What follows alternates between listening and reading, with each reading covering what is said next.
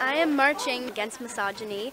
I am marching to lend my privilege and join in solidarity. It's not what people say they demand equal rights it's for they everyone, treat others. and I'm marching to it's qualities make like everyone kindness, know about compassion, liberation and why self-restraint, to come out and march, generosity, guys, good we have a manners, voice, we have to use courage. it. It's just Those the are only the thing we things can that do. count, we all deserve rights. money, we all deserve power. to people live. coming together saying we stand in solidarity and we are slick going to work together around A lots of different demonstration issues and we understand solidarity. that together It's a time we in are our life, I think, where Americans have to stand up and say what this country stands for.